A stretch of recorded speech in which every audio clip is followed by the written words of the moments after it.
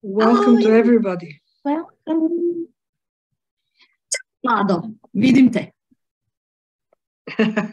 Ćao, Lado. Uh, dobro jutro iz Srbije. Dobro jutro. Dobro utro. Konnichiwa. Konnichiwa. Hello, Hi, David guys. Johnson. Hi, David. Konnichiwa. Konnichiwa. So how, Do you how many already have languages? some snow in, in, in Japan or not yet? Hi, carpet. Lots of, lots of. Hi, Hayashi sensei. Hi, Konnichiwa. sensei. Hello. Hi, Shigeoka-san. Shigeoka-san. Hi. Ah, hello, Shigeoka-san. Onishiyama sensei. Hello. Horiba-san. Very, very welcome. Hey. Shigeoka-san. Oh, Stefka. Horiba-san. Hi. Hello, Professor Tanasawa. Oh, hello to all team in Yunosato. Yeah. Hi, Shion-san. Hello. Konnichiwa. Tanaka-san. Hello. Tanaka Yuno-san. Some people are connecting still to the audience. Yes. Konbanwa. Harpred. Hello, Harpred. Hi, Tanaka-san. Okay. So we're in Japan and five o'clock past. Welcome to everybody. Um, Thank you. Hi, Lian. Um, it is, I have to tell you, that was a great idea of Jelena to um, propose to have um, a, a party. Um, Bonenkai. Bonenkai is a Japanese way of celebrating um, uh, uh, the passing year and welcoming the new one. Um, well, the work party means that we we will be enjoying our, ourselves and um, celebrating. And I think we we have lots of things to celebrate this year. And um, of course, at the end of something, at the end of, of the year, usually what what we do is um, see what we have done and uh, think about what we would like to do in the coming year. So I would like to propose today to uh, be um, open enough to have a discussion. Our discussion is a very hard one, but just to share what each of us would like to do in the coming year. So I would be very, very happy if we can um, have a talk and conversation after we listen to Jelena's um, presentation for achievements, discoveries of this year. Uh, I'll be very, very happy if we can share um, thoughts afterwards. Jelena, the floor is yours. Okay, thank you. Mm, now, um, I'll try to share the screen. Uh, dun, dun, dun, share, but then, okay. Lawrence, can you help me? Do we see it? Okay. Yes, we see, but you better uh, give a full screen. Okay, great. Thank you. Well, thank you everyone for joining this Bonenkai party. I'm very, very happy that um, you're all here. And I understand that in Europe, the holidays have already uh, begun. So I very much appreciate um, all European guests coming here, especially from my, of course, country, Serbia. It's so nice to see you here. Um, so uh, today, this is not going to be a very, how can I say, um, from scientific view, it's not going to be very informative. But uh, I hope that I can present to you, um, um, let's say, the pieces of the puzzle that we managed to put into a larger um, picture during this year. So I'll start actually from the beginning. So at the, uh, one of the things that uh, really shaped um, the beginning of uh, year 2022 for us was our first book. So the book was published actually in the in November, November December 2021, and we were very very let's say anxious uh, about how it is going to be you know accepted by the by the audience. And we are very happy uh, that I can today uh, give you a report that we got from our uh, editor, senior editor in Springer, Dr. Shinichi Koizumi, who yesterday wrote to me with official um, uh, official numbers actually for the performance of our book. And uh, so uh, up to today, the, the chapters are either viewed or downloaded more than, uh, more than 4,000 uh, times. And uh, this is actually the major uh, way of um, uh, of uh, purchasing the book nowadays. So people buy by, cha by chapter, they don't buy the full book um, usually. However, we, we did uh, also sell whole books in hard copies and in electronic versions. And um, basically, the performance of our books is uh, of our book, first book in Aquaphotomics, is that we were in the top 10% of all titles in chemistry and material science. And uh, especially according to Dr. Koizumi, this is really a great achievement because this is a monograph, which means it is really, you know, hardcore scientific work and not a, a textbook or a handbook, which is, for example, um, let's say easier to sell because students need it. So um, I think we were very, very successful with this and we were happy that we could share this uh, performance with you today. Um, regarding our other book, we are still making um, plans of how can we start to work on it, but um, this is the first thing that we published in Aquaphotomics. This is based on 20 years of past experience, mainly Professor Tsenkova's. And we are slowly, uh, let's say, gathering experience uh, to uh, put a really, really good book, uh, which will take uh, not only our experience into account, but experiences and works of all uh, the people currently who are working in aquaphotomics. So it takes a little bit of planning and uh, a lot of a lot of systematization. So please just be with with with us. I think we will make it in 2023. Now, the next thing that we did, so uh, in this year, we actually, uh, I think our performance regarding the papers that we published was simply astonishing. Usually when I was um, when I was a student, when I just became um, actually a postdoc, uh, I was very anxious. I was very worried because one of the uh, major, let's say, um, uh, points uh, of how you're going to be assessed as a, as a scientist is how many uh, publications you made per year. And I know that I remember that once I'm, uh, I asked some very, very su uh, successful professor, uh, so how many papers you expect for me to publish per year? And he said, well, one paper per year is definitely not enough. I would not keep you, for example, as, a, as an employee. Three can be okay. So I'm very, very happy that uh, in this year, we actually not only managed to publish almost 14 papers, we also managed to publish a first special issue. Special issue is um is um, um let's say um a, um, a particular um issue of a specific journal which is dedicated to some uh, to some topic of interest. So for me and Professor Tsenkova, this topic is aquaphotomics.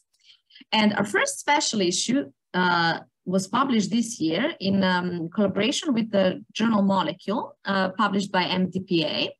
And in this um, special issue, we collected 21 papers in the area of aquaphotomics, and all these papers, 18 original research papers and three review papers, are actually cutting edge science. So um, these are the most, um, let's say, modern works in, in the aquaphotomics field.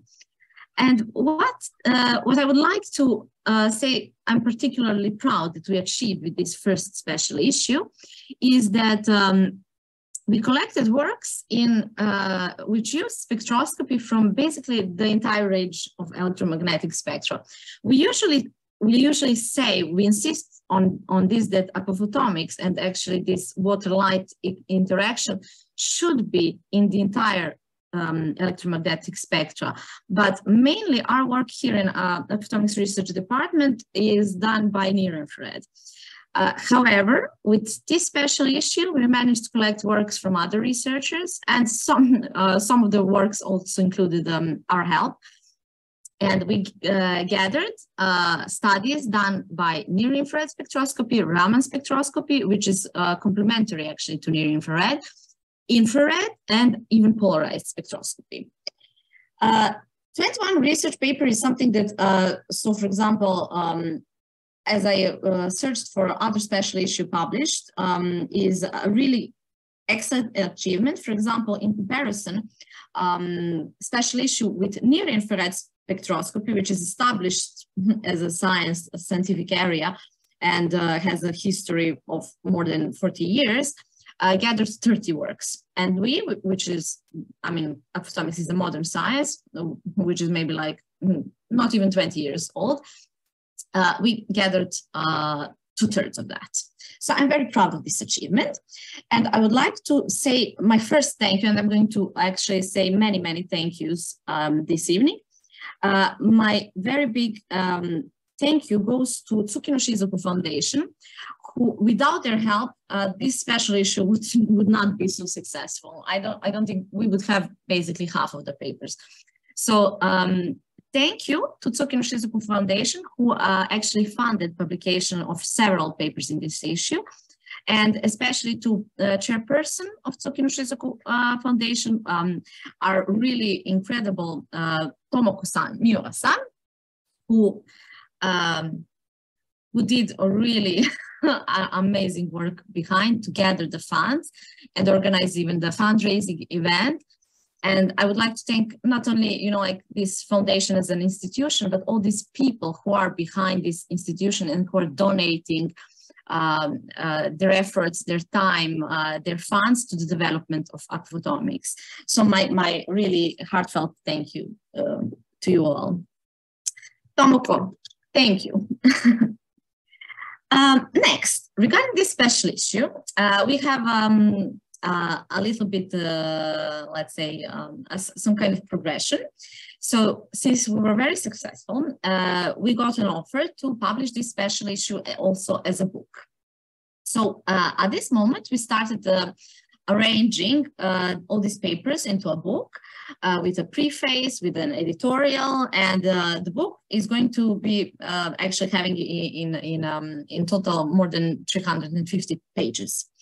And um, uh, regarding the, um, the, the, uh, the papers and the topics that are going to be in this book, uh, we're covering with these papers actually all the topics starting from the basic science about water, about water structure, about fundamentals, about hydration mechanisms, about water and material uh, interactions, uh, also, there are many papers which are uh, very useful for people who are um, in uh, who are interested in um, improvement of their um, uh, skills in analysis and pre-processing of spectra. So the first part of the book is specialized for that, and I would really um, uh, recommend uh, to anyone who, who is working in aquaphotomics to read, especially um, the paper pre-processing NIR spectra for for aquaphotomics, which is uh, which was invited by us and which uh, these uh, top leaders in, in um, chemometrics and spectral preprocessing wrote um, to address some needs that we that we have in aquaphotomics. Then the majority of the papers that we received and organized in this special issue uh, came from uh, the area of food quality and agriculture. And I think this is uh, so far the, the area of aquaphotomics that is most developed.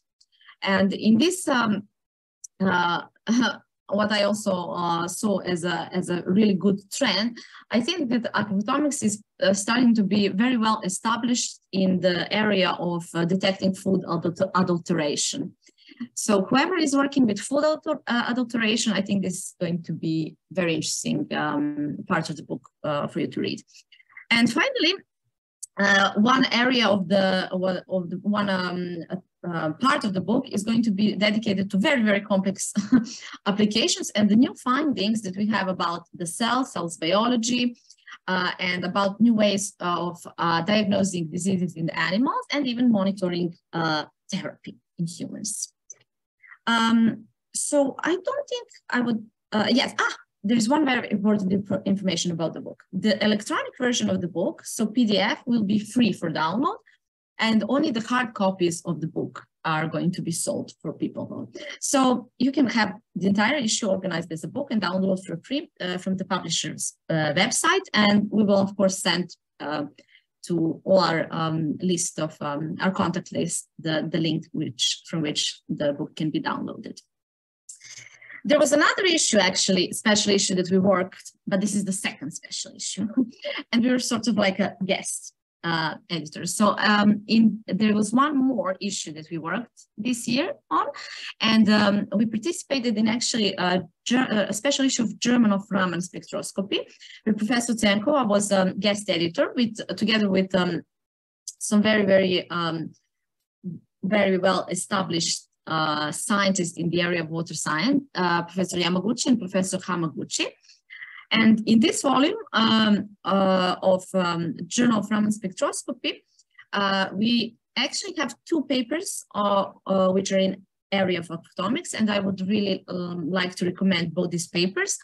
Uh, one is coming from one of my favorite aquaphotomics scientists, Professor Takeuchi, and uh, the other one is coming from our Chinese aquaphotomics team of Professor Shao. both are very, very from me at least, highly recommended papers for reading. And regarding this issue, this special issue, I think I have to apologize. I was also invited to provide a review from our side, but uh, unfortunately, I was not able. So my apologies, and I promise that I will have a review on aquaphotomics in, in, the next year.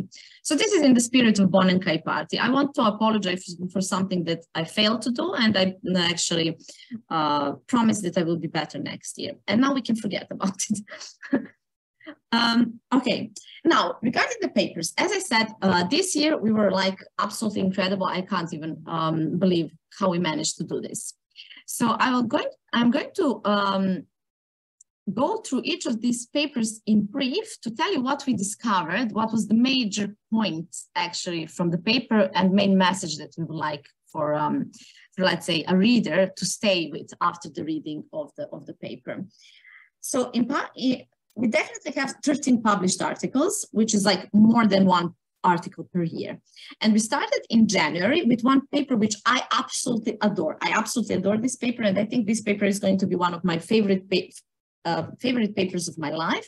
I think I wrote it incredibly. I mean, I love all my papers, and all my papers are something like my children. Some of them, let's say, are my own. Some of them I sort of adopted. And regarding this paper, I think I can say that I sort of kidnapped this paper from, from our collaborators in Italy. But I'm so grateful to this Italian group who um, actually asked for our help in, in um, uh, analyzing and interpreting the, the results of, of their experiments uh, within the fra framework of, of aquaphotomics. So they did one very, very simple study. They monitored the state of rice germ using near infrared spectroscopy. And then we got their um, results and we started to try to understand what is going on with the water. And what we got from this paper and from these results is we understood what water activity is. And one of the major things that at least now I have clarified and I would like to whole world to know this, that the water activity is not related to free water molecules. Water activity is def defined by water vapor. Water vapor are, are, are, the fastest moving water species, and this is what actually water activity is, not free, free water molecules. So this is the first message. The second message with this paper uh, is uh, that we we got we get, let's say, uh, to be acquainted with um, intermediate water this intermediate water is something between the ice phase and between vapor phase, and it is not also free, free or bulk water. It is intermediate, it is something like a liquid crystalline, and it seems as it is, let's say, if we want to be precise in the aquaphotomics terms, it absorbs around 1436 nanometer, and it is absolutely crucial for living processes and for sustaining life. So if you want something to be preserved, if you want to make something living, you have to have this kind of water. And in this paper, uh, for the first time, we decided to present a new concept when we're presenting our works.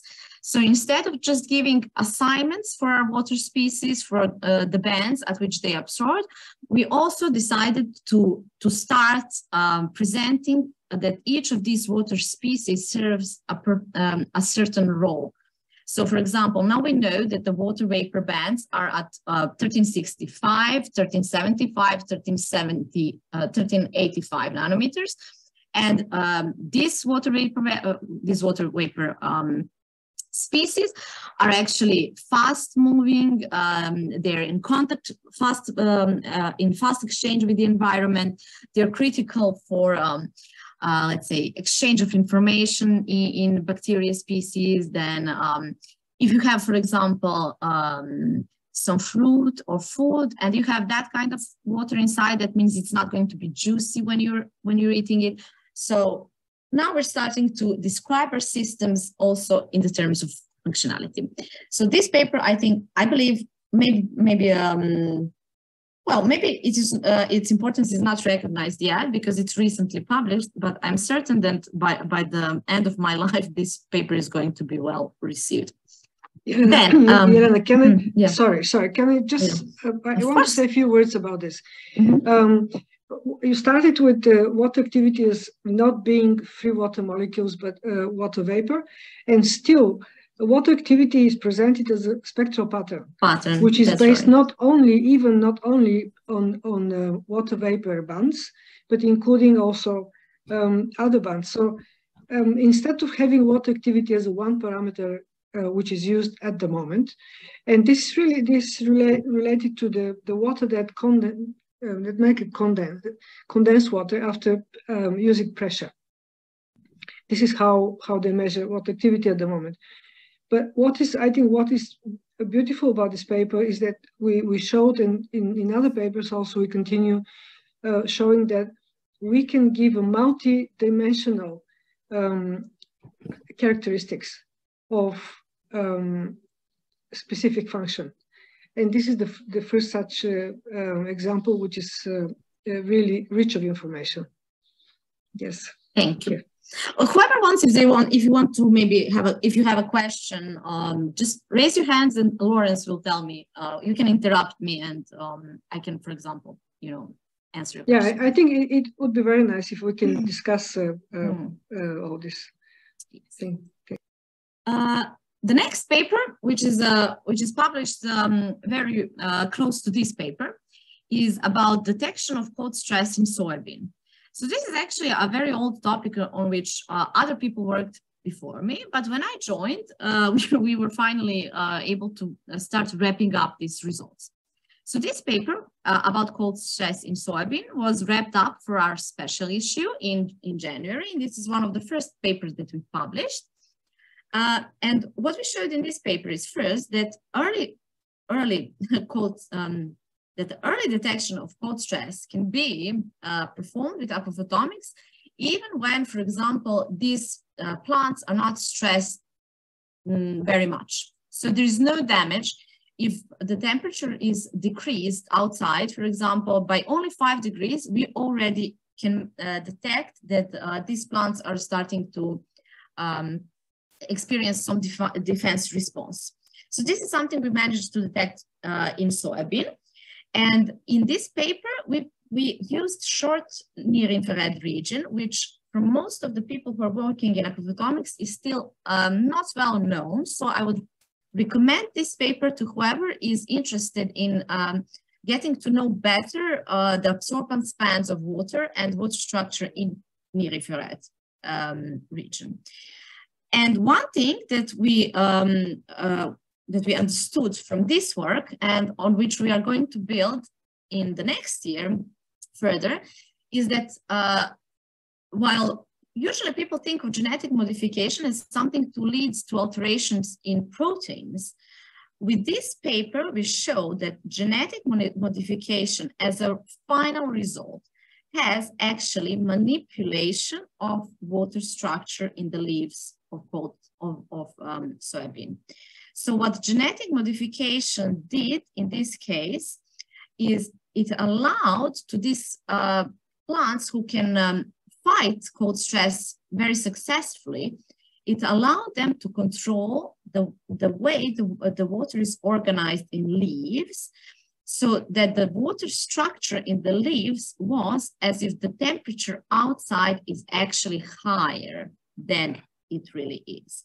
So this is what genetic modification did in the case of, of, of soybean.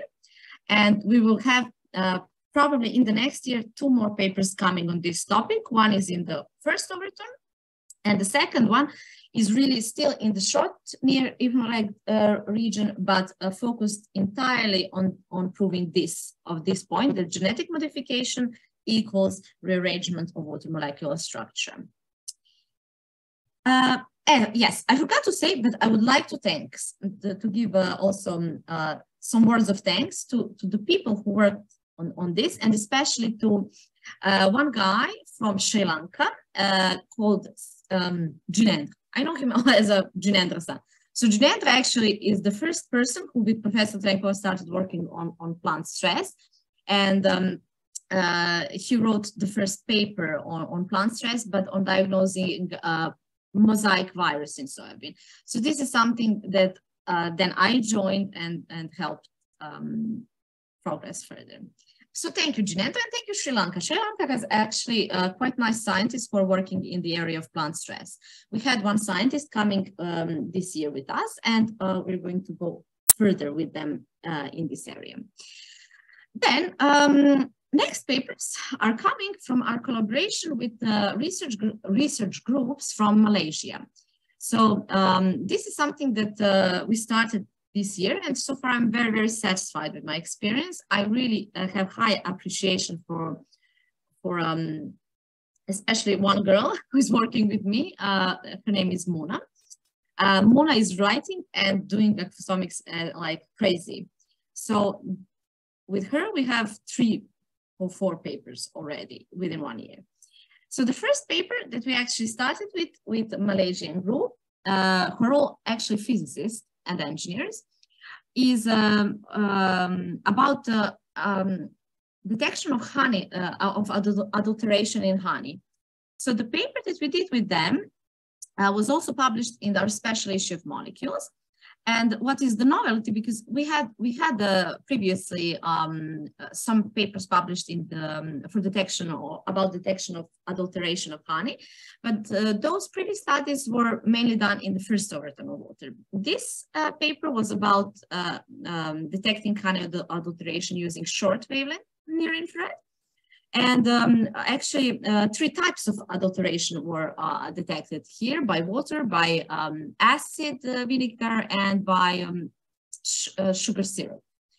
Uh, the novelty here in this paper is that we also provided um, for those people who are who do not understand very well short near infrared region, uh, we put assignments of the bands and we provided explanation of some of the water structures that we discovered are uh, related and that, that can be now used for detection of adulteration in honey.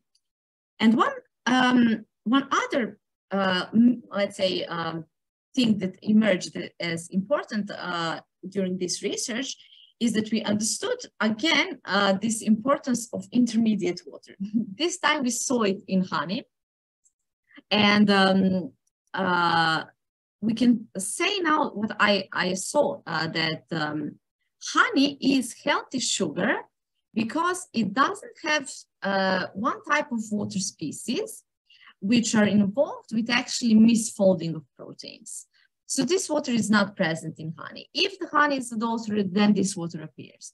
So uh, that is why I think uh, uh, adulteration of honey is a serious, um, uh, um, serious, how can I say, um, uh, alteration and a serious health, um, health hazard. Yes.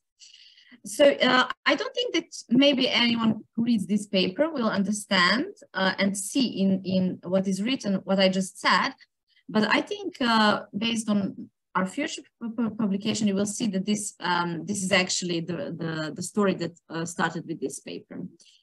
Oh, you're welcome, Mona. I'm very, very happy to have you as my as my uh, collaborator. Then another uh, paper that we also did with another Malaysian group is um, um, a review paper on uh, plant stress detection. So this, this actually proved uh, to be a very, very popular paper with already lots of citations. And uh, the, the, important part of this paper is that it shows how many works um, in uh, was uh, uh, how many works in plant stress detection was actually performed were performed using aquaphotomics. So I think this is the first review paper that really shows that aquaphotomics uh, is uh, established um, as a scientific method for diagnosing not only uh, abiotic stress, like for example, water stress or cold stress, but also biotic stress, like diseases that happen due to viral infection and so on. Um, and uh, one of the major, uh, uh, let's say, breakthroughs that we wanted to show with this, this paper is that water is also a biomolecule in, in the in the um, uh, in the plant tissues, and uh, this biomolecule also undergoes changes in response and, and is a, and as a part of the defense mechanism that that uh, plant actually activate when something happens.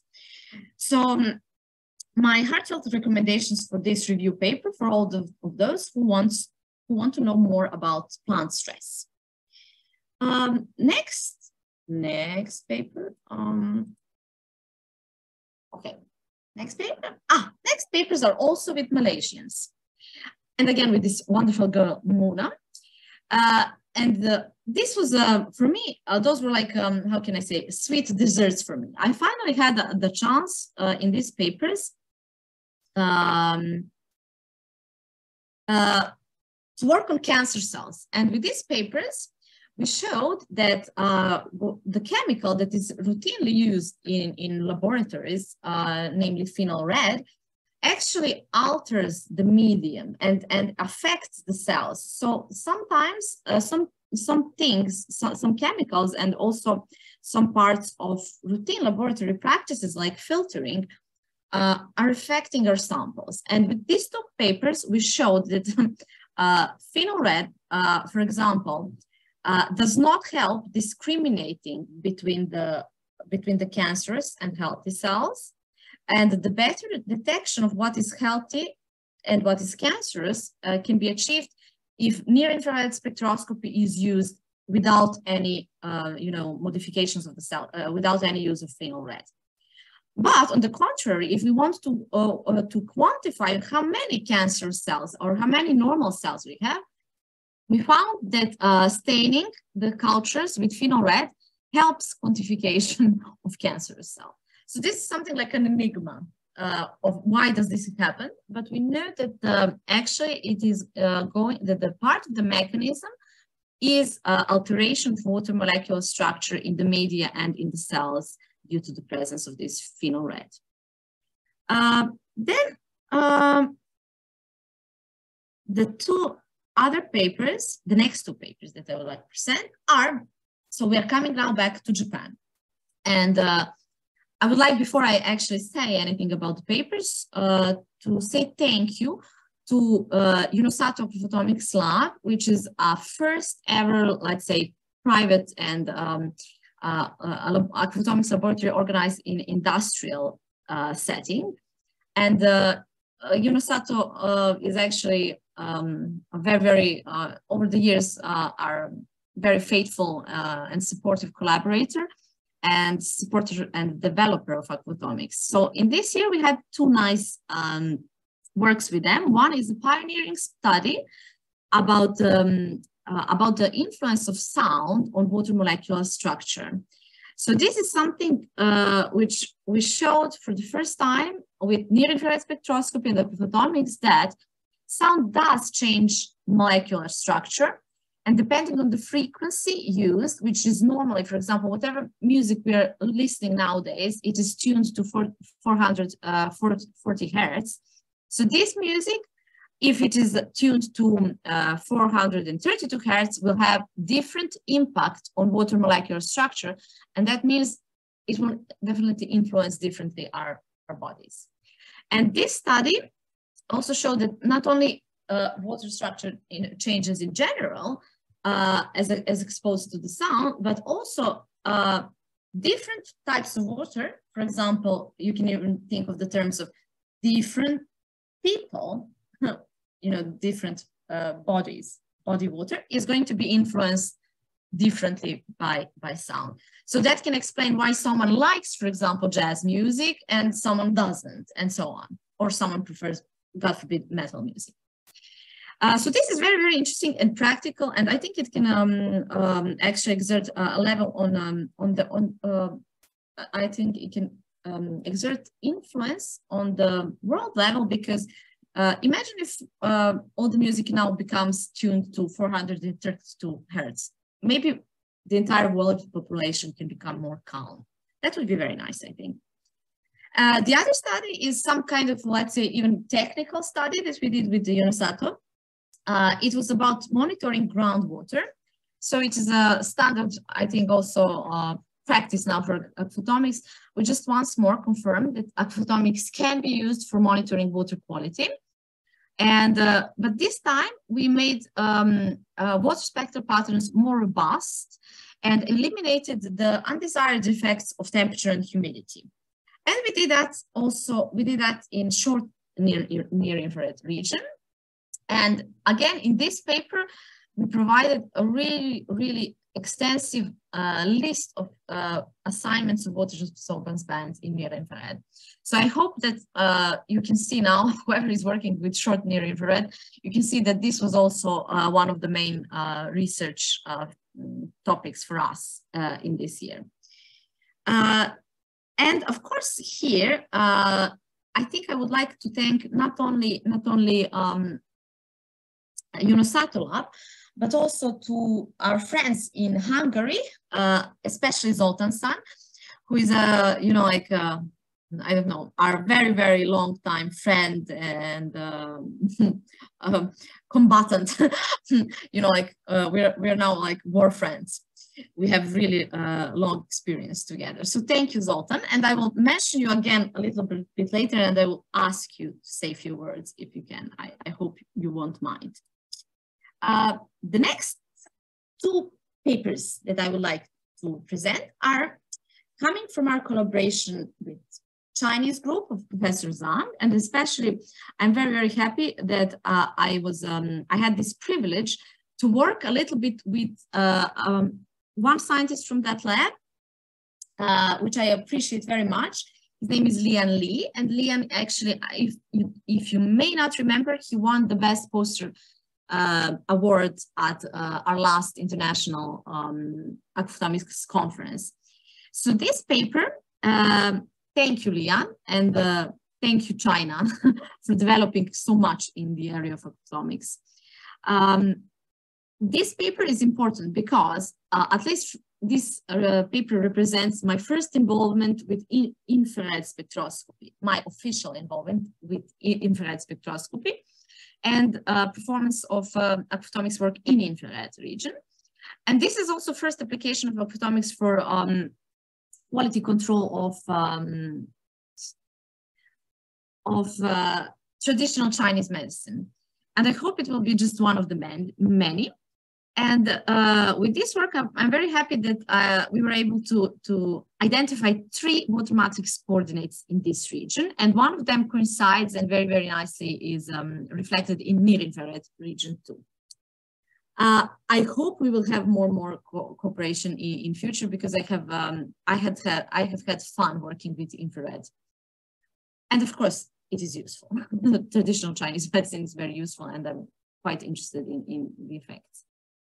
Um, so this is this is let's say one of the unusual um, uh, well let's say samples that I had a chance to work with this year, and the second uh, type of unusual samples that I had a, a really uh, wonderful opportunity to, to work uh, this year is cement, and I would like to thank, of course, uh, to Isotechnica who actually came um, with, uh, with the idea of this project to use aquaphotomics for um, assessing actually the quality of cement and how and if even different types of water used in mixing of cement affect their properties.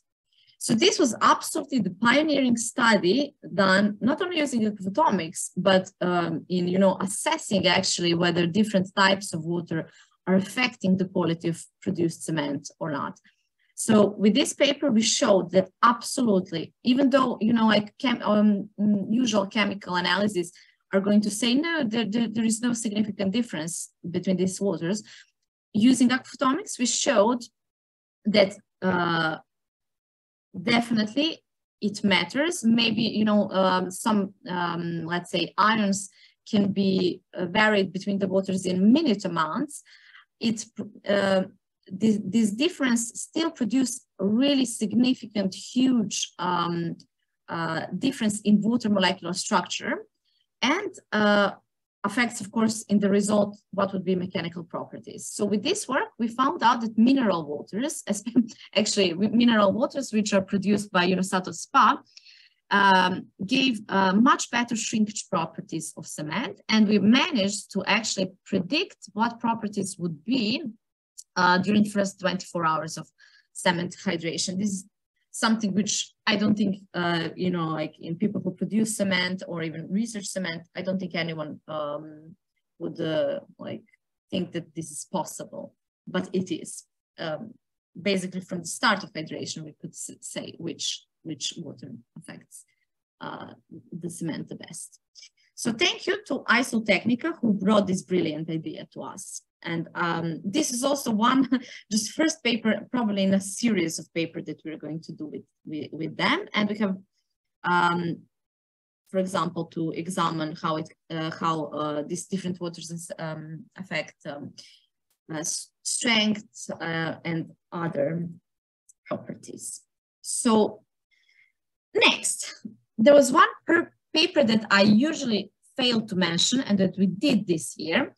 Uh, and this is a review paper Japan, uh, about photonics, and it is written entirely in Japanese. We, we published this paper in Journal of Automatic Engineering. Uh, this was a um, paper done on invitation and presents all photonics from theory to simple applications.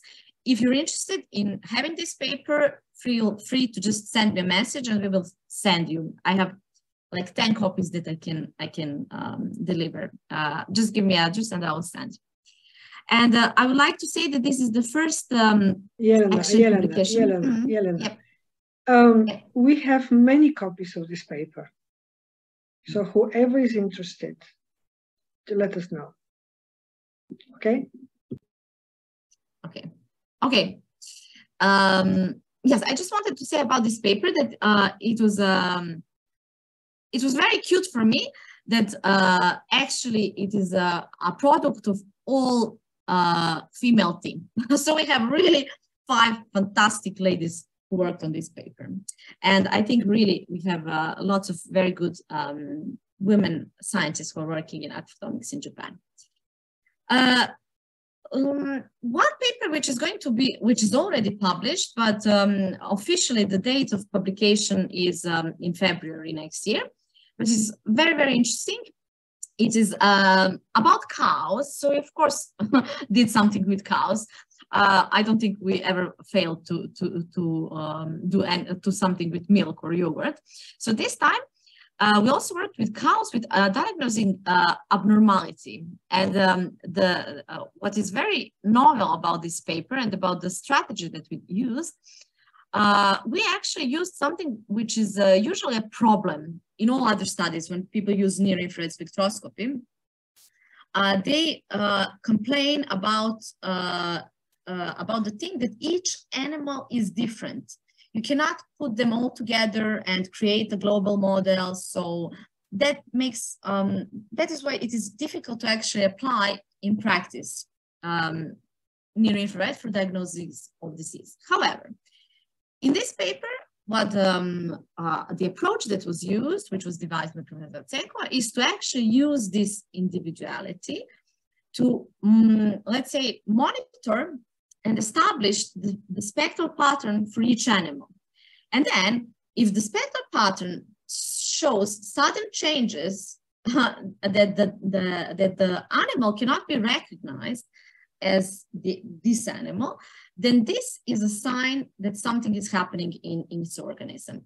And with this approach, we really had a very, very nice accuracy of um, detecting uh, abnormalities such as, for example, uh, ovulation, diarrhea, um, um miscarriages, uh, even like um, uh, uh, problems with the leg or in the cow.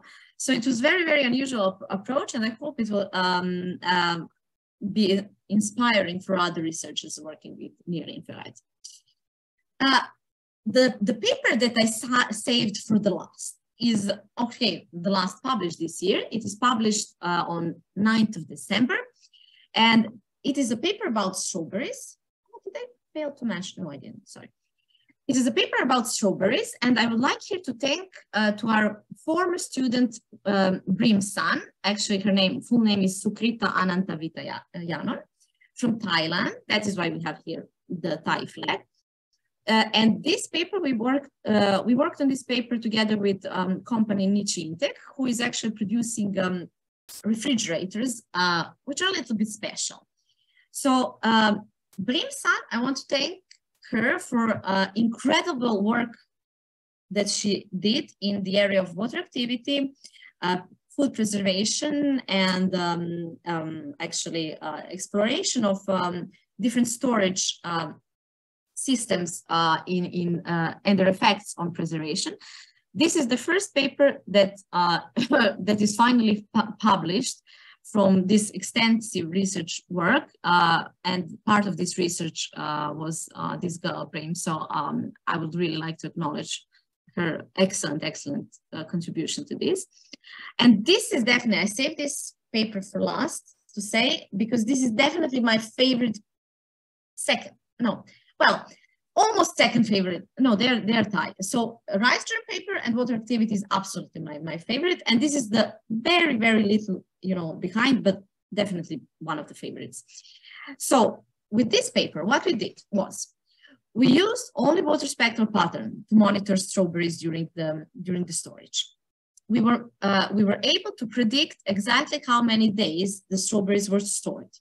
We discovered four new water matrix coordinates and we, we also managed the, uh, to, to um, actually explain why putting electric, uh, electric field in the fridge helps extending the shelf life of strawberries. So this is about the fridges that this company is producing. They're actually putting electric uh, field and they've noticed that they have beautiful uh, results in preservation of food, but they could not um, actually prove it uh, scientifically and explain it. So we helped this explain this and uh, why this this why this paper is so so favorite for me because I don't think I ever saw more beautiful aquagram. With this aquagram, you can see exactly that uh, the strawberries which are stored in the fridge with electric field have the exact same pattern on the sixth and seventh day as the strawberries, which are stored in normal fridge.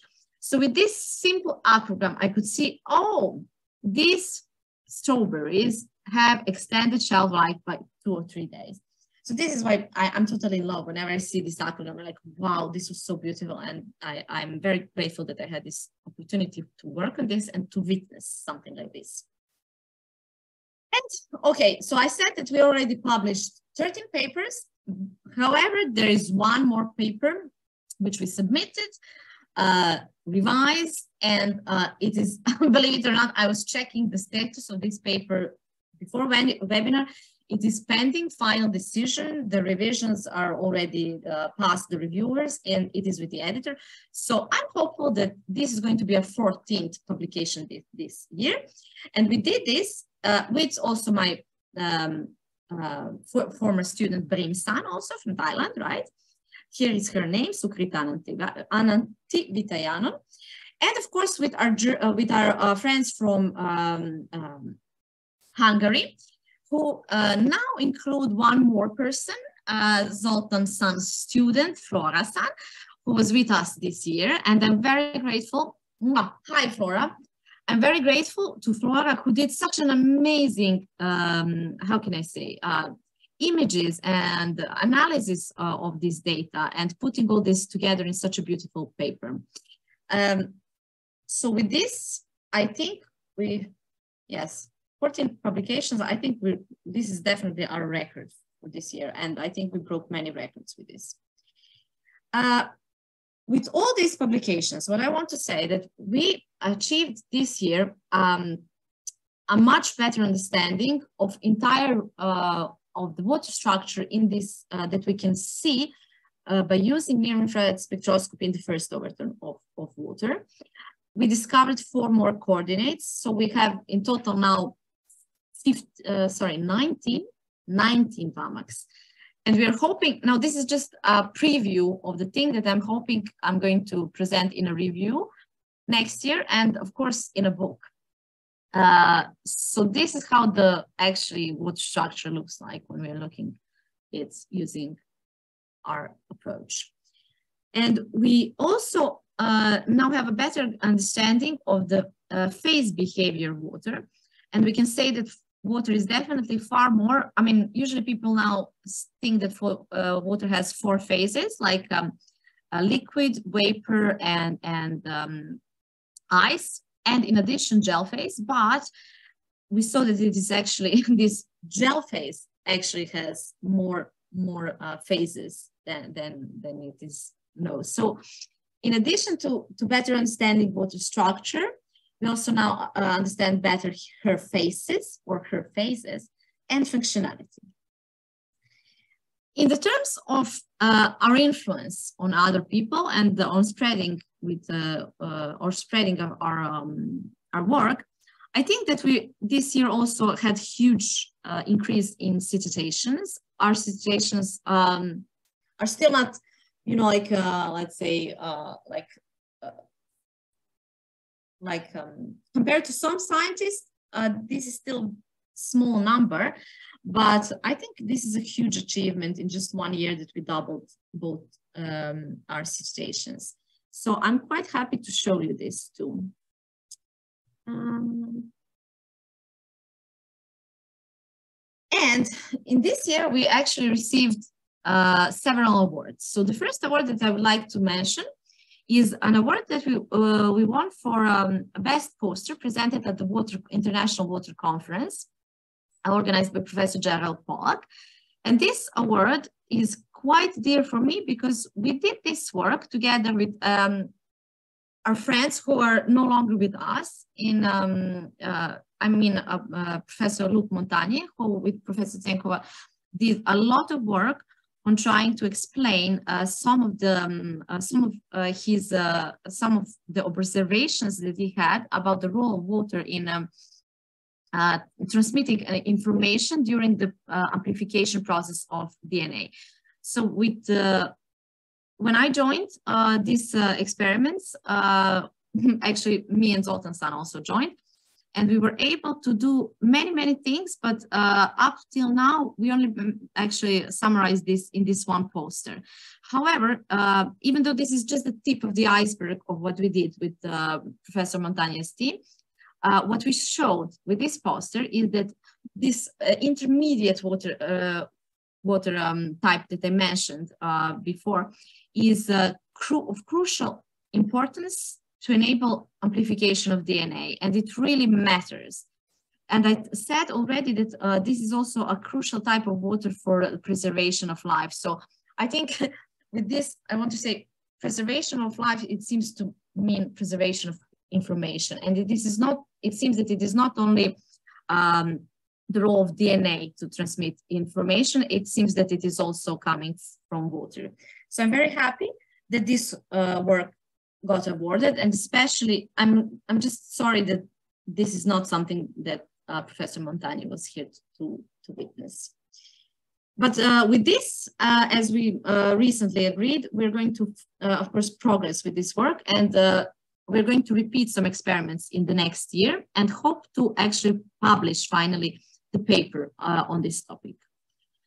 The next award that we got that actually i got is a, uh, NIR Advanced Award. And I want to say that this is actually the second award that uh, second NIR Advanced Award that give that is given to the development of aquaphotomics. Professor Tsenkova actually won this award uh, previously, maybe like 10 years ago. And this is the second time that this award goes for the contribution and developments in aquaphotomics. And I'm very, very happy that I received this, this award and I'm honored, and I, I cannot tell you how how um, pleased I am that actually this this award comes from Japanese society. For me, that is really something that I will be forever grateful. Uh, the third, well, I'd say it's not such a such a important award, but this is a award that um, that was a, a, certificate of appreciation for a paper that I never thought would become significant. So um, this is a um, this publication from 2021 uh, turned out to be one of the most cited and uh, most interesting publication in this year for people. And I'm surprised that people are obviously so interested in more real-time monitoring in uh, yogurt and um, actually aquaphotomics uh, uh, use of aquaphotomics for this purpose. So we got a certificate of publication from the publisher that showed that this paper is indeed um, like that this was really interesting for the readers this year. And when it comes to the world level, I would like first to say that uh, now we have uh, more than 20 laboratories in the world which are practicing aquaphotomics. Some of the people who are, um, are now today here, and I would like them to, to say a few comments uh, after I finish.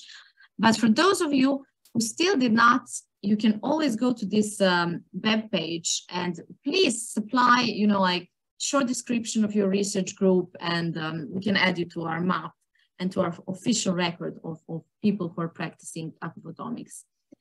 Um, regarding the publications on a world level, so um, when I did, so the, this is a, this graph presents the latest um, uh, the latest results that I Googled actually today to see how many publications are uh, published in, in, in this year that mention that are, that are done in aquaphotomics. And we never saw actually such growth in the number of publications. So I'm quite surprised and I'm very, very happy to say that this year it was 340 and the year is still not, you know, finished.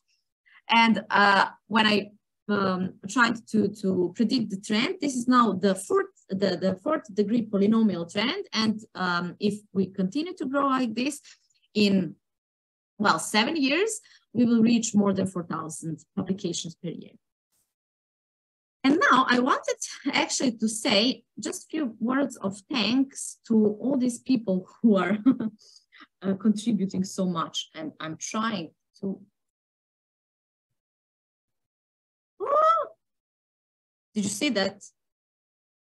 Okay, you didn't.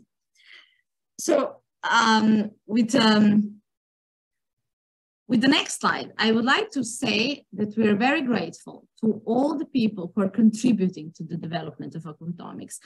And we do read all these papers and all these papers um, contribute to our knowledge of building the aquaphotome. But this year, as I said in, in the um, announcement of Bonenkai, we decided to give one special word to the paper which contributed uh, most to to our database, to the, to the development of Aquaphotome.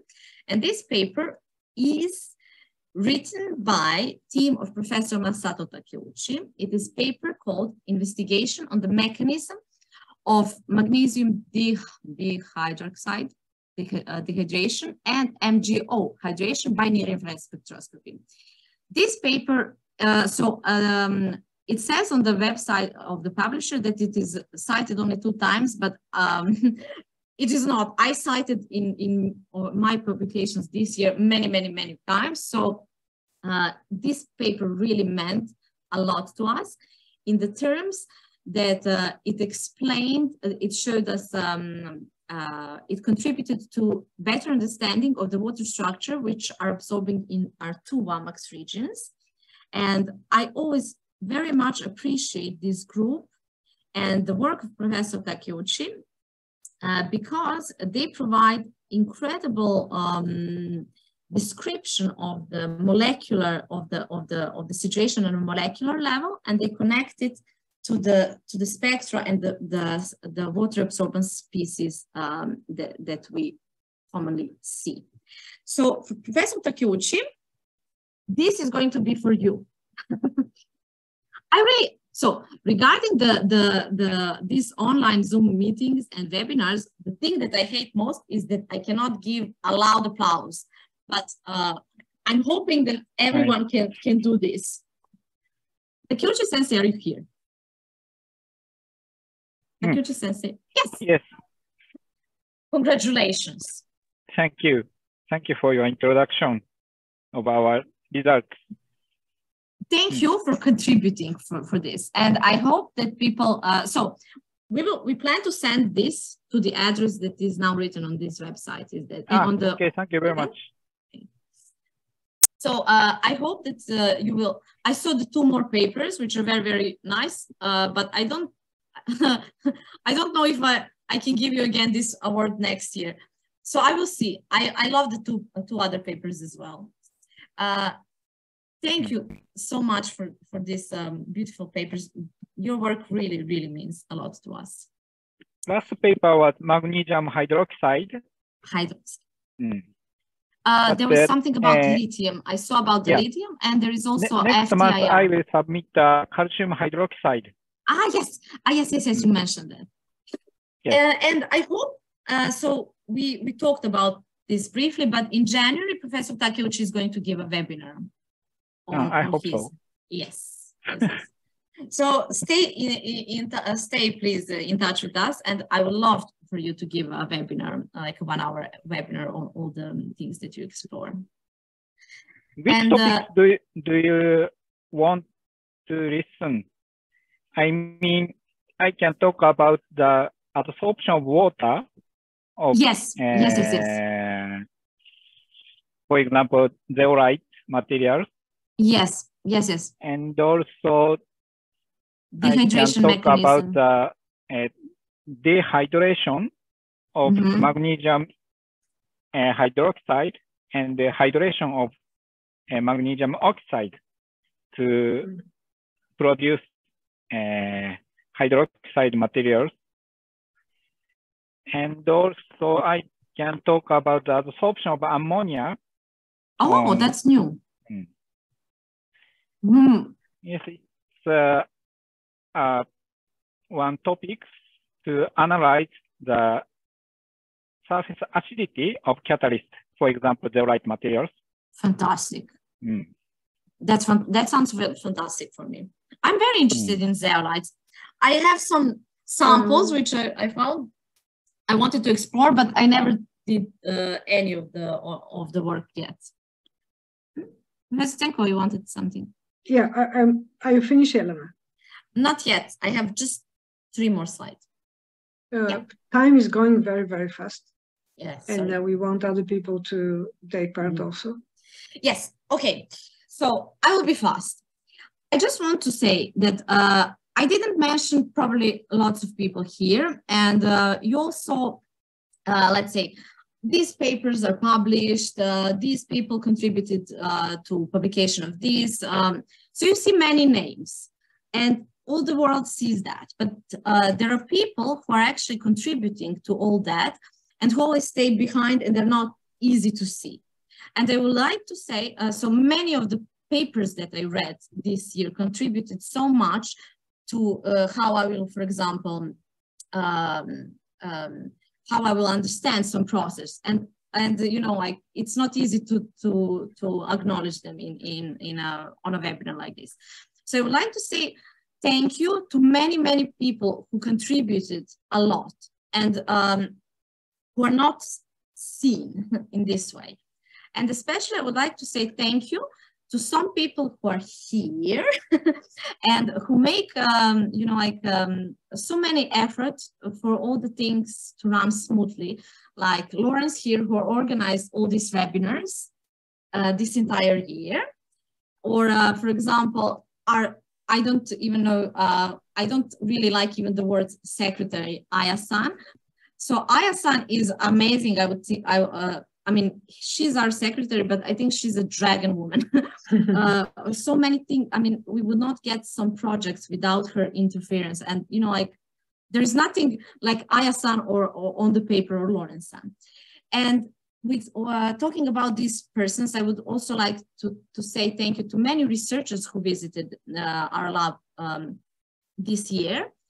And uh, since I have to actually, I wanted uh, to give some kind of um, a, sign of appreciation to at least one of these persons who, who, are not so easily seen, but who contributed a lot. And one such person is Yoko-san. so I usually like to say this with a with um, a short expression. Yoko-san is the best. But Yoko Osafune-san really made a difference in this lab in this year. So this is something that Yoko-san will be given today from us. Thank you, Yoko-san. Yoko-san is the best. So Yoko-san really made a difference in many, many, and uh, I'm hoping uh, that she will make uh, a difference for the development of uh, aquaphotomics in Japan, because luckily she speaks very, very nice Japanese. yes. Okay, with this, thank you everyone for listening. And I would like now just to say, uh, because this is a Bonenkai party, thank you for yet another great year. I think we did fantastic and cheers. And this is Umeshu. You cannot take cheers. Cheers. Yeah. Cheers, Jelena. Thank you very much for, for this absolutely um, mm-hmm. uh, extensive. I will stop sharing um, the screen for a start. And I'll extensive um, um, presentation of um, of the, the, work of our lab and, and mostly um, especially your work. Um, I would, yeah, can we, uh, what I would like to do now, um, because it is the it is uh, our final webinar for this year, and this is a webinar organized by Aquaphotomics um, um, scientific discipline and scientific field. Um, Jelena just reported how many labs we have in in um, in, in the world, and we have with us now um, the leaders of those those labs. And I, I would like to invite uh, some of, of, you to share um, something, uh, uh, your achievements for this year, um, the news about um, um, your discoveries about aquaphotometry this year. Um, uh, Lawrence, I have a question to you. How long, how much time do we have um, in this Zoom? How, how much do we plan? As long as you want. Zoom is not limiting us. Oh, okay. Um, so I would like to, to ask Zol, Zoltan, Zoltan Kovacs. He's a, a leading uh, laboratory in uh, Hungary um, University. He's associate professor there. Um, Zoltan, could you please share some um, thoughts with us? Thank you very much. Thank you very much for uh, the opportunity to, to be here with you. Thank you for the initiative. I don't have such a nice presentation as, can you hear me? Yes, very well.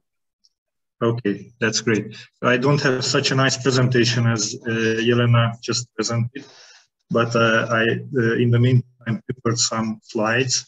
Thank you for the opportunity to briefly introduce our activities uh, of 2022.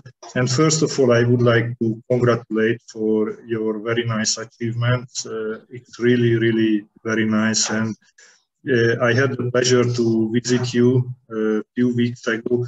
I, I really enjoyed the atmosphere there.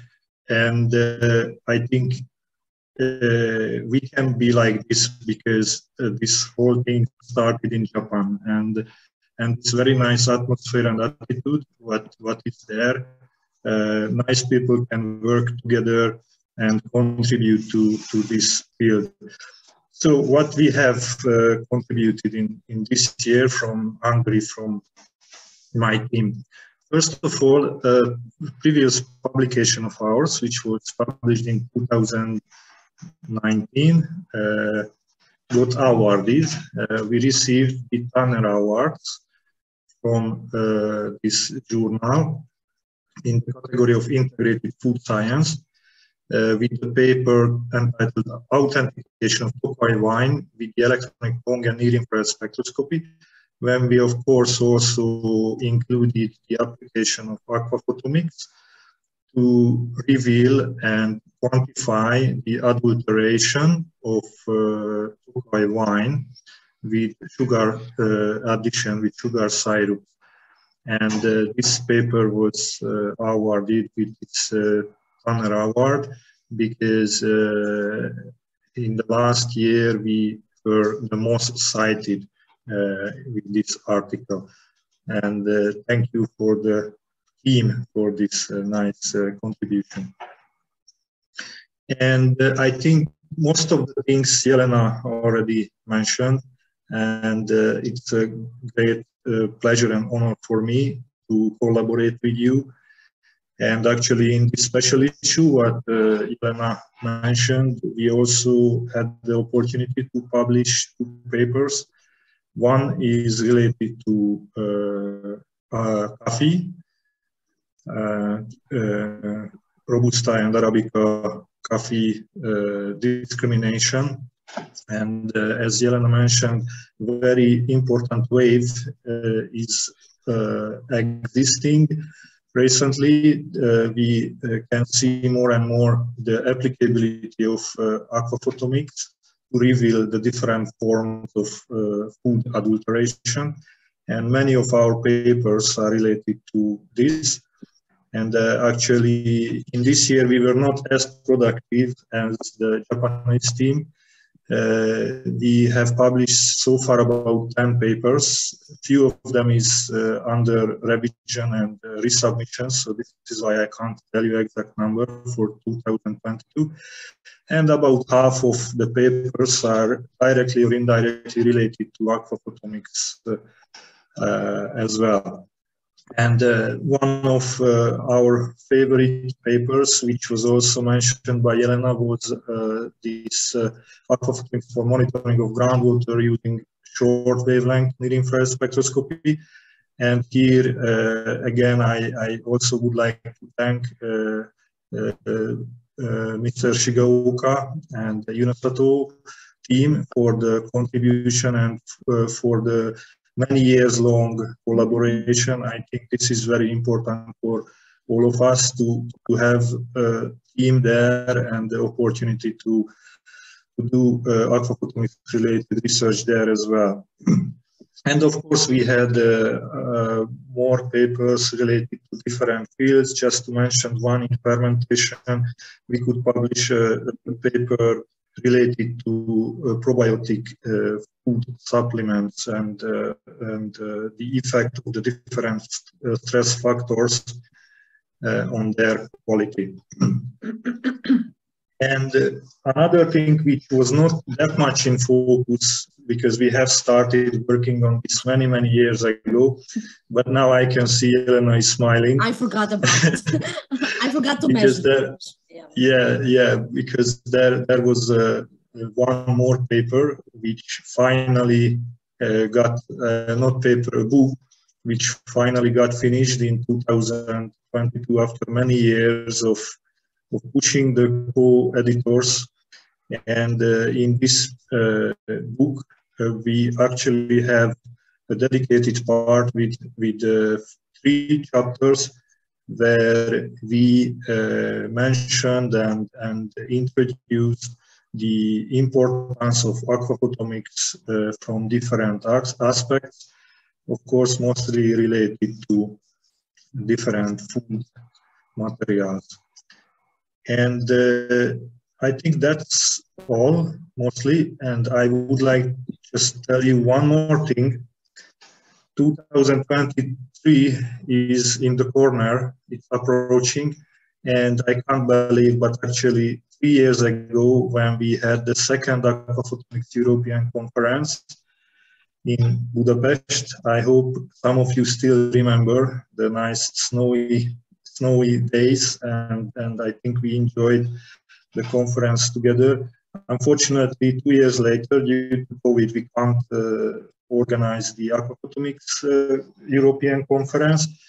But now uh, it's my pleasure to announce that we plan to organize the next, the third European aquaphotomics conference, uh, of course in Europe, this time in Italy, please book the dates. Uh, it will be in the first week of September, so 2023, and we are planning to organize a three days long uh, session conference with uh, the uh, main organization by the Italian Society of Near Spectroscopy and uh, Cristina Malegori and also Professor Federico Marini And obviously, we also try to contribute as much as we can together with Professor Tsenkova and her team and with my team.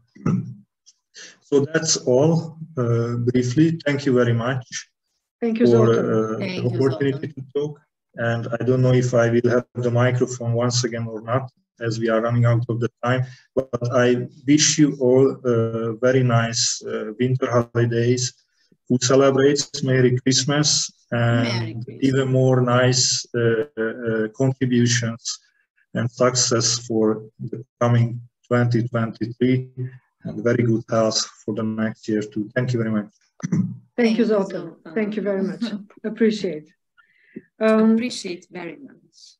uh, we have um, um, very strong uh, papers this year, many, from the Chinese groups on aquaphotomics.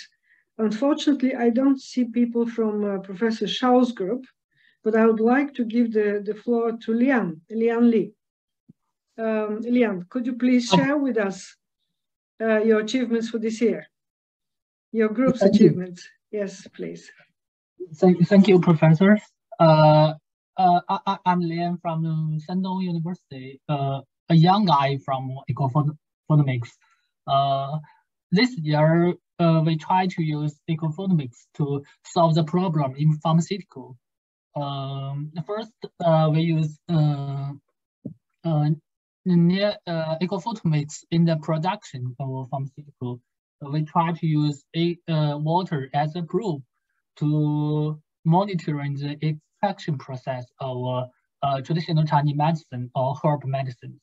And we found that uh, when the concentration of the active material is very low, it is hard to detect using IR. But with the help of aquaphotomics, we can uh, use water as a probe to uh, de- deter- detect the low concentration of the uh, active materials. So uh, in this aspect, uh, we uh, published one paper which used the aquaphotomics uh, as a tool to extract to monitor the extraction process of stevia, uh, a herb.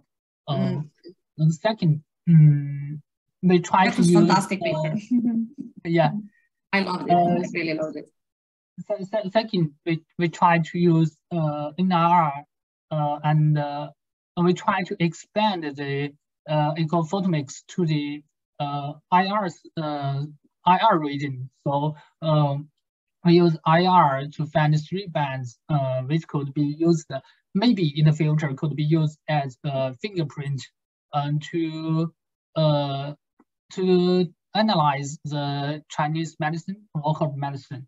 Uh, So I think uh, in in the in the future we would like to take more information, um, which I I think uh, different herb medicine may have different water absorption patterns. So I think these uh, characteristics could be used as a tool to uh, construct a fingerprint of aquaphotomics, and uh, it could be used as a fingerprint to characterize the uh, quality of the herb medicine.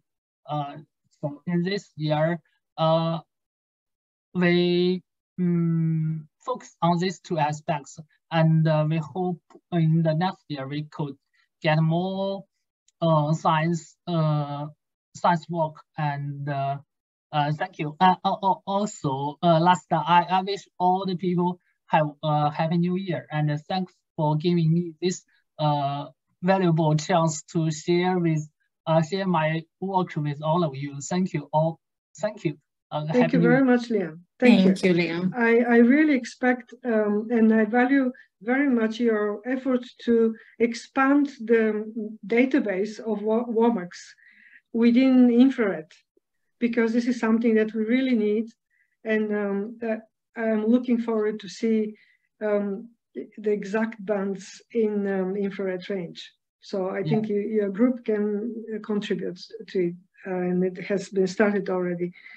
Uh, and that, that is also very va- valuable for Chinese medicine, uh, Mhm, which is has has a future. Thank you very much.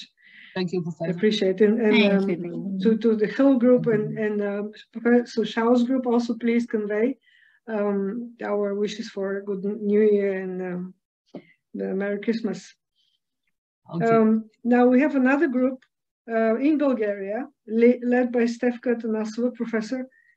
Could you please share with us um, something, some news from your group? Stefka Atanassova, can you hear me? Yes. Okay. Um, could you please share with us some of your achievements this year? Uh, this year we started uh, one scientific project connected with uh, uh plant stress, aquaphotomic uh, approach to investigate uh, stress in green plants. we started experiment with cucumber and maize cold stress and stress caused by a different water regime. Mm-hmm. And uh, after that, dehydration of the uh, plants. Now we have more than uh, 2,000 spectra is, and started to, to proceed. Wow. Uh, and to see the, to find the, the differences caused by different uh, uh, plant stress. Uh, another topics is connected with uh, food analysis, especially cheese and meat. Uh, use uh, aquaphotomic approach to distinguish uh, fresh and frozen meat and uh, cheese with different water content, cheese with added dry skim milk in the process of producing. This is our topics at the moment. And, uh, uh, have you have you published some some papers uh, uh on your work until now? Uh, we have some presentation in the conference, and now we prepare some some papers. Um, I I heard that you you have a very um, a new initiative at the university um, on uh, using uh, artificial intelligence for um, data analysis. Are you going to use this this chance also? Yes, of course. Yeah. Okay. We, thank you. Yeah. Uh, go ahead. Thank you. Go ahead. Go ahead. Sorry. thank you very much, Stefka. Um, and now we have uh, one more group that's, uh, that we have representative this is um, um, Alex Tuil from um, uh, the laboratory in Unusato.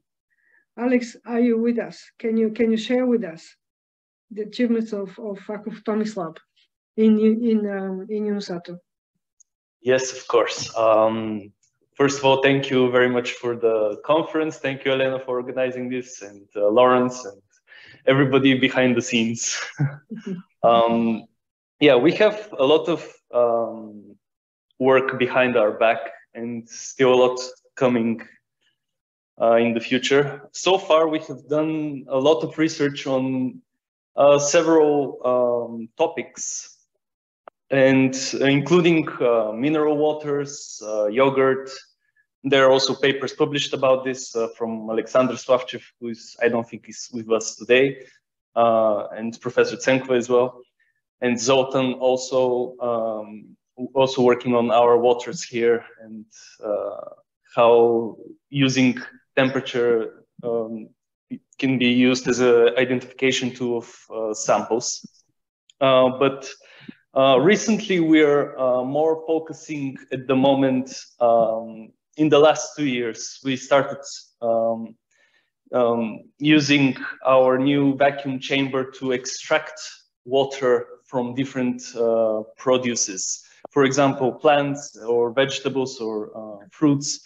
And with this vacuum chamber, we can extract this water and then we can um, use it for uh, research, for um, further development or blending of, of uh, for achieving uh, products with specific uh, properties. And so far we've saw that um, we could preserve uh, partly the functionality of the water when extracted from the original samples. And we plan in the future to use this for um, plant growth. This is something that we have discussed recently. And um, speaking of plant growth, we are uh, currently focusing more on soil analysis and crop analysis. And we have uh, already uh, started writing uh, two papers and there are more to come even. Um, how water can be used also as an identification tool of uh, uh, discriminating and uh, understanding the functionality of the soils and the type of soil. And um, we plan also to um, um, to um, focus on plants and how they change uh, the soil and how the soil alters the plants themselves. And so far we have very promising results and uh, we hope that uh, until the European conference comes, we can uh, prepare something, but we'll see. It's a, it's a lot of work, a lot of, um, a lot of new things and amazing things.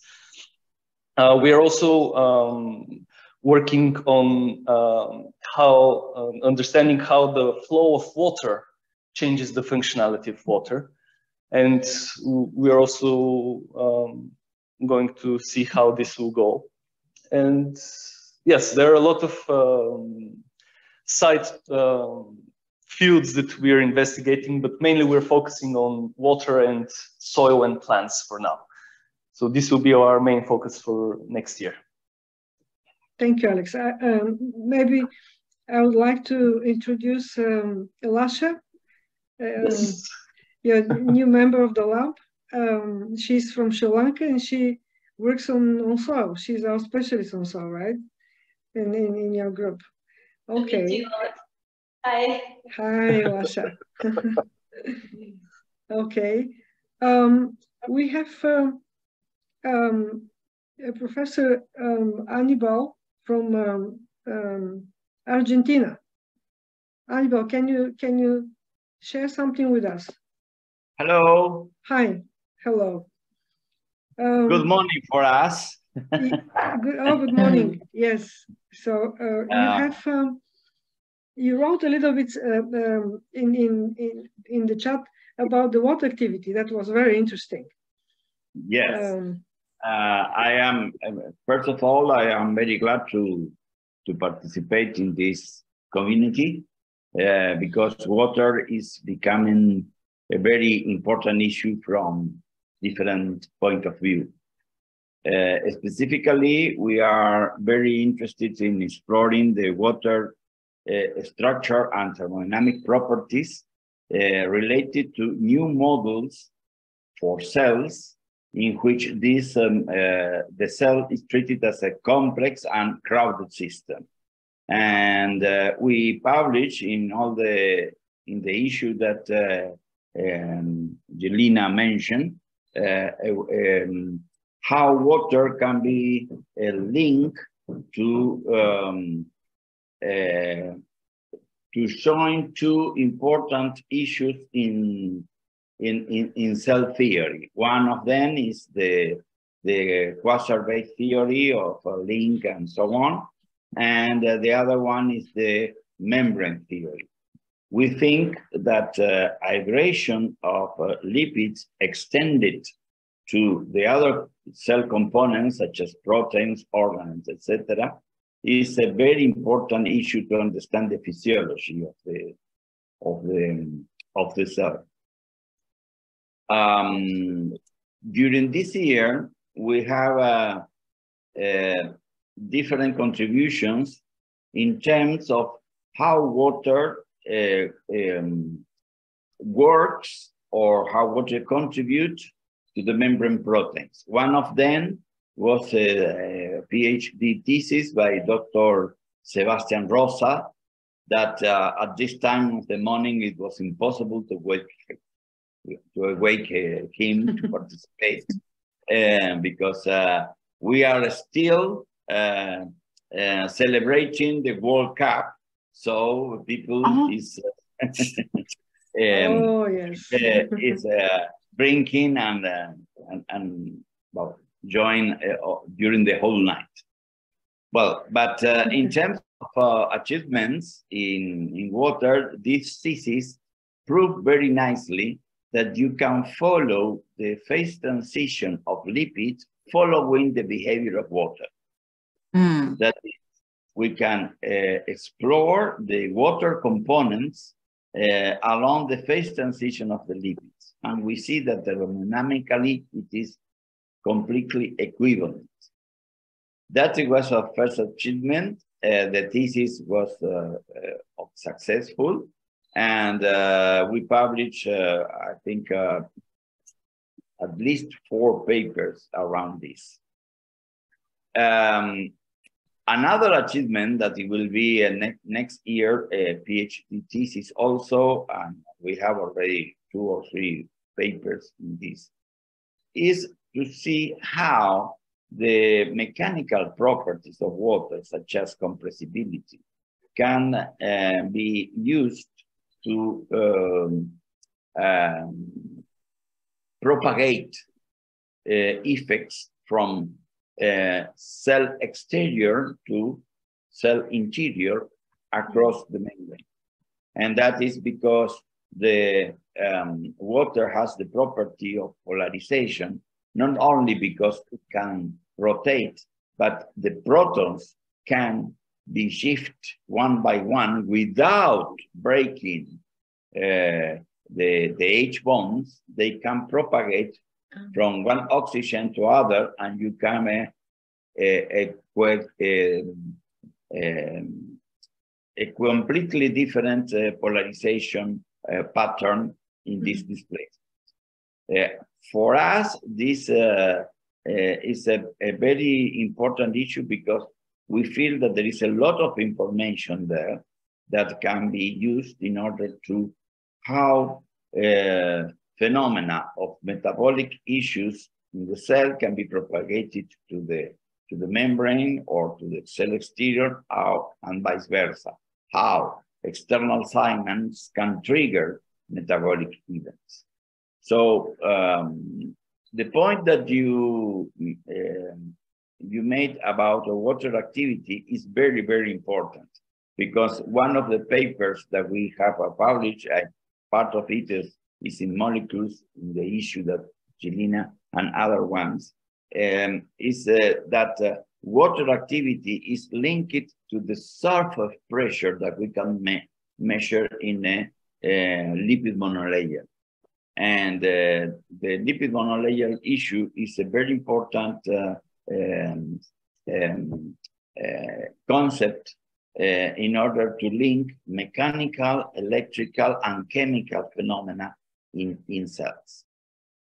Well, this is very briefly what uh, are our concerns this year. Uh, we have uh, 10, around 10 students and postdocs uh, working on that. I, I took from the Jelena expo exposure several points that could be developed here in terms of um, food storage, cold stress, honey. We have in Santiago del Estero, we have a, a very big productivity uh, production of honeys, different kinds mm. of honey. And, um, and of course, all the theoretical work that we can do about uh, water activity and its thermodynamic problems or uh, properties, uh, but always connected to the uh, cell behavior. Um, our expectative for 2023 is that uh, we could uh, we we are in we are planning to organize a symposium in cell biophysics in August next year, uh, in which uh, we will try to join specialists, making the point of how water can contribute to clarify the, the cell physiology. And in this regard, I want to emphasize that uh, we are prepared to organize this, the School of Aquaphotomics uh, together with this symposium in August. Probably we have to discuss some details with uh, Roumiana, later on. And uh, we are, it will, will be a good, good opportunity to, to bring people here to Argentina to make a, a, a point in biophysics of water specifically and to extend it to several uh, apply aspects like such as food, cows here is very important also uh, in the productivity of the of, of this uh, university, uh, honey and so on. So that is the um, our achievements, our, plans for, for the next year. And uh, when I I I hope uh, you will be able to to attend the meeting and to start uh, uh, nice collaborative works.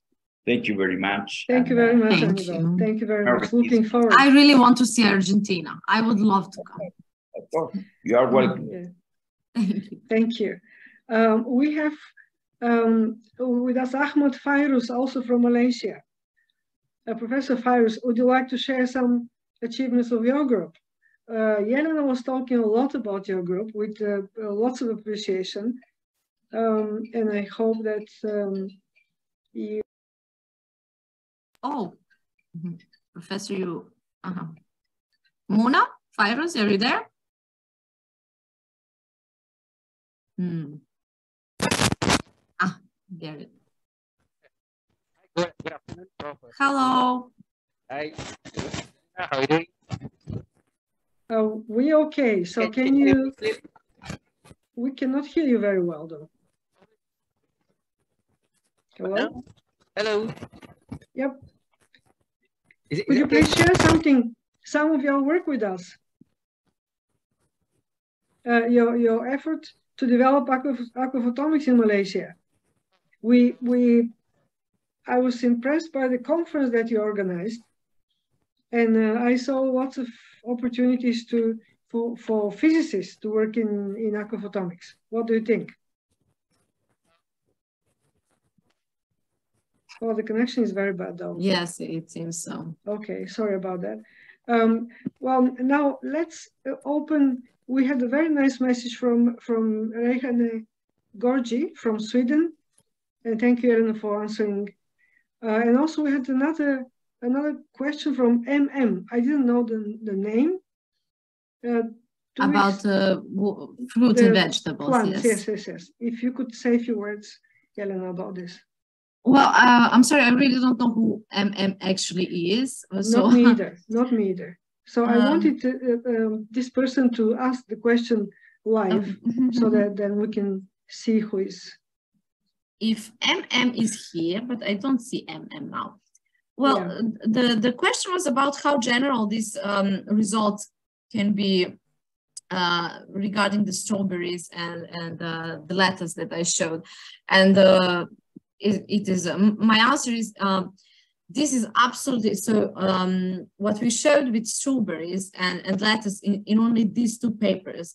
This is such a small i don't think it's even 1% of the work that we actually did and uh, on many different types of uh, fruits and vegetables but unfortunately we cannot write papers that fast and have it published. So absolutely what we showed in these two papers is uh, generally applicable for all types. I didn't see, I don't know, um, is there a specific vegetable that I don't think now it can be applicable. So we tried for, for example, the same approach, monitoring the preservation, the shelf life of um, tomato, asparagus, um, grapes, several different cultivars uh, than um, uh, even other types of food uh, like grain, um, wheat, rice, quinoa. Um, so it is really, it is universal method that can be used to, to um, monitor the, the state of the food or plant, vegetable, fruit uh, during the, the, storage. And you can see the impact of, for example, storage atmosphere, of the changing in the storage conditions, you can predict the storage time, how many days, hours something spent in, in storage, and so on. So this is definitely um, something, uh, I mean, uh, as I was explaining the other day to one of the reviewers, uh, who, uh, who was um, doubting about how universal this method is when we are um, doing revision of this latest paper. So this is just, uh, in these papers, you see just 1%, but this is the, our strategy, strategy. We wanted to show paper by paper, system by system, what we found, and then we will present it in, in a big review, uh, what can be done with aquaphotomics for monitoring um, storage and how we want to present actually water spectral pattern as a multi-dimensional biomarker or, or, descriptor of the state of these uh, food systems in, the storage, which is much, much better, uh, much more um, integrative uh, way of, of presenting the state of food uh, compared to just one number, which is water activity. With just one, one number, you cannot say anything about what is the texture of this food or is, is this food tasty? Which, you know, like with water activity, you see, aha, okay, maybe there is no bacteria, but it doesn't tell you that the, the food is, you know, like eatable. so yes, this is absolutely universal. And we think we have a really, really good thing. Okay, thank you. Thank you, Jelena. Do we have some some other um, opinions? Yeah, not just things to share um, as a last um, webinar this year. In eggplants and green leaves. Sure, we can talk about Professor.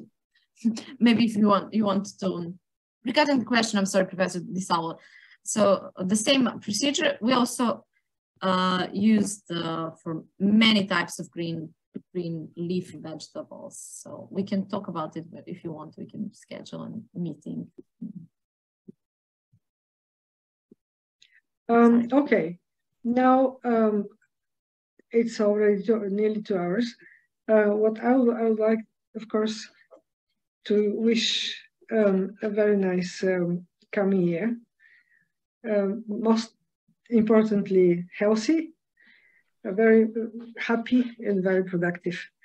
Um, but one thing that I would like to probably uh, share with you is um, how I see what is in front of us and what we will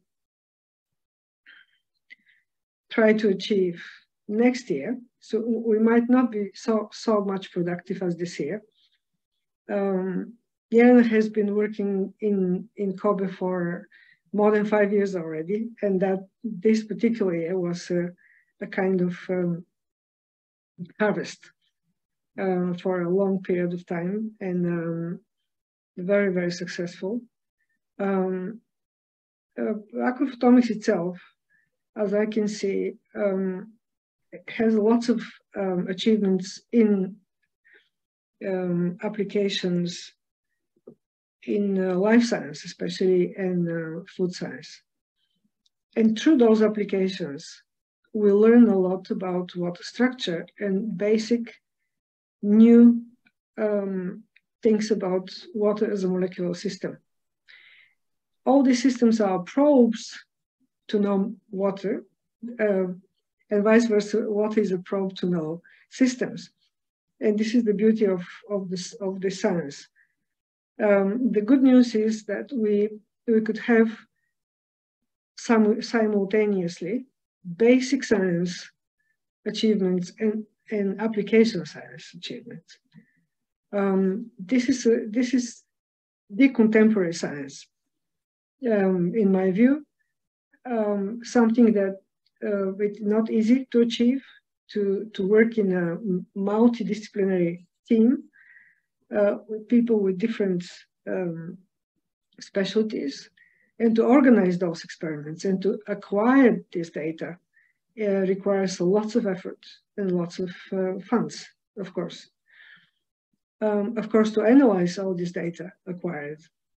So we need new methods for analysis. We develop and um, you know, lots of hours uh, for data analysis. But something that is um, I feel more and more important is um, we discover new WAMACS, new um, vibration frequencies specific for, for specific water structures related to specific functions. And we are able to pinpoint the contribution of each of those uh, species, each of those uh, conform uh, molecular conformations. Um, but in our studies, in our lab, always, what we always do, we um, always measure uh, consecutive spectra. With each system, we know how the system reacts to light. And then we always measure time, of course, temperature, weight. So now you, you, you probably already realize that we are on, on our way to see the relation between the water molecular structure and time, water molecular structure and gravity, water molecular structure and light. These are big topics, very important topics. I think water has relation to all of this. And I think 2023 is a year that we'll very seriously um, start working on that. Not not start, continue working, uh, giving results already, and, and some some some fruits, maybe some papers. I hope so. So we have been for a long time, as Jelena said, we haven't published our work together, done together with uh, Luc Montagnier, because we needed more and more and more um, confirmations and um, of things that we have discovered. I think the time is coming when we, we probably will be able to publish some of, the, of these works. Um, and of course, we have also uh, works done on uh, blood-brain barrier um, since many years ago. So we're, we're able to publish so many papers because we have um, um acquired data and we have been doing these experiments for many years. So luckily, uh, we were able to wrap up this and um, with the um, very nice writing of Jelena. Uh, we could uh, have so many papers and, and um, analysis, of course. Um, and now uh, it, it is time to uh, go back again to some of those works that stay and wait um, because we we will be able to to give more stable um, and con firm conclusions. Well, I think um, another another issue, there are two two um, points that I, I've been always interested in this, and one, I think science is not only for scientists, uh, people um, with curiosity, and um, uh, hungry for knowledge, um, they can always do science. And, and water is for, for is touching all the disciplines and everybody. So I think it is a platform. Uh, it's not a scientific platform. Aquaphotomics is not only a scientific platform. It, it is scientific and technology, and of course, educational platform. It should be educational platform. And I think uh, our effort in the future uh, will be also uh, concentrated on educating people. And I'm very happy that um, um, Anibal mentioned the Aquaphotomics School and uh, Zoltan also mentioned that uh, the European conference will start with Aquaphotomics School. So um, I think as in, in uh, all the international conferences on aquaphotomics, we have started with public lectures for everybody um, about aquaphotomics. I think we can continue, and it is very nice. It, it goes to uh, school. It is a very good, if we keep the tradition, will be really, really nice. I would like to use this um, uh, last uh, webinar for this year to express my really appreciation and gratitude to uh, my lab, to uh, Jelena, um, to um, Yoko-san as a visiting researcher in our lab, to um, Ayana Kagawa, um, my secretary for Lawrence Long, who is our IT specialist, to all our um, colleagues that have visited uh, laboratory, our lab and working with us, um, Flora and Francesco. Um, so we, we expect to, to have some results next year related to um, tubules and microtubulin. So I'm, um, so um, I wish you really uh, a very good year. Um, and uh, thank you very much for attending uh, these webinars. And I think uh, we can, uh, but uh, time is not appropriate probably for United States. So we, we cannot have our, our colleagues from, from United States. Maybe we, we have to think about this mm, time to time, changing the time of the webinars. because we want to see them also. I'm not getting up at five. Sorry, I'm joking. This is a joke regarding because Professor Tsenkova, Yoko-san, um, um, many people here are doing uh, five o'clock, getting up and doing um, physical exercises. And I'm the only one who's not attending yet. um, okay, Jelena, so um, uh, Kampai, um, um, with your umeshu. I, I, I, I don't see any umeshu in your glass, so you are in a very good mood. okay, and and cheers to everybody. Okay, so we're doing. Cheers! Um, cheers! Water, cheers! Cheers to everybody. Well, goodbye, 2022. Kampai. See you in Argentina. Yes. Bye. And Merry Christmas, everyone. Merry Christmas Happy to everybody. Merry Christmas. Happy Merry Christmas. Bye. Thank Hi. you all for being here. Yes. Thank you. Hi. Thank you. Yes. Merry Christmas and Happy New Year. Hi. Thank Christmas and Happy. New Year. Merry Christmas. Thank you. Yeah. Happy New Year. Happy New Year. Merry Christmas. Oh, Happy New Merry Merry Christmas. Christmas. Merry Christmas. see you. Merry Merry Christmas. Christmas. Merry Christmas, Yunosato. Thank Merry you, Christmas. Thank I love you. your tree, Professor Disalvo. Yes, Oh, beautiful. Beautiful, Marita. beautiful tree. Ah, oh, very nice taste. Thank you for having this beautiful tree. Oh, I was looking at this tree the whole webinar. There is a present for you here, It is Yes, yes, totally in the spirit of this. but you have to, but but but you need to come to to. Oh, I, I Aya. should. I should. hello. I should. Thank you. David Johnson, Yeah. how are you? Where is your uh, drink? I thought you were bringing the drink. yeah, so nice to see you. Bye, Muna. Bye, Fire. Bye bye. Thank you for being here. Thank you for everything. You have a lot to, to, to talk. really. Yes, Yes, yes, and yes. Also. Yes, we have. Yes. with pleasure. Yes. Next year, then. well, Goodbye goodbye, for for now. now. Yes. Not at all. I hope Goodbye for now. Have a Many good day. kisses. Have a good night. Many hugs. Yes. Cheers.